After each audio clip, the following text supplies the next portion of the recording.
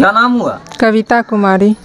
किस पंचायत से किस पद के लिए नामांकन करा के क्षेत्र में समाज सेवा के लिए आ रहे हैं? मुखिया पद से अम्बाई चरवा।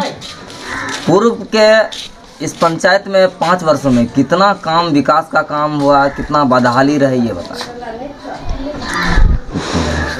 कुछ काम नहीं हुआ है। जनता क्या चाहती है? हम्म? बदलाव। जनता क्या चाहती है? विकास चाहता है। और जब विकास के लिए क्या करना होगा? विकास के लिए बदलाव। हाँ। क्या शुभ नाम हुआ? श्रवण कुमार।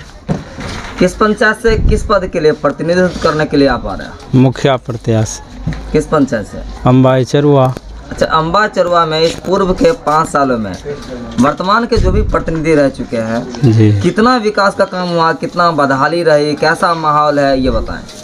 बदहाली है अभी तक 300 पशु शेड पास हुआ अभी तक एक भी नहीं देख पा रहा। अच्छा। बारह सौ इंदिरा आवास स्वीकृत हुआ एक सौ एक हज़ार प्रस्तावित है। हम्म। अच्छा ये बताएँ जनता में किस प्रकार का उन्माद आ रहा है ये बताएँ।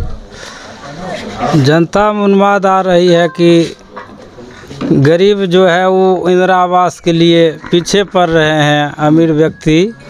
आवास लाभ ले रहे हैं। अच्छा बात करते हैं खास करके जल जीवन हरियाली पर या आपका जल नल योजना पर। कितना काम हुआ क्षेत्र में? जनरल तो सामने अभी कुछ नहीं हुआ। जनरल सब अधूरा पड़ा हुआ है। अधूरा पड़ा हुआ है। अभी तक कुछ नहीं। हुई है और पाइप मतलब लग गया मतलब पाइप लग गया है सर। पानी नहीं पानी नहीं आ रहा है अभी। लगता बाढ़ आएगा तो बाढ़ आएगा। जी जी। ना उसी जी सर जी जी उसी हाँ, से पानी आएगा जी। अच्छा जनता कह रही है कि इंदिरा आवास में शौचालय में प्रतिनिधि घूस उस लिया ये कहाँ तक मामला सही है? मामला तो सही है लेकिन आदमी बोलने से जनता से पूछिए। हाँ। जनता बताएगी ना? जनता बताएगी। अच्छा चलिए जनता बताएगी।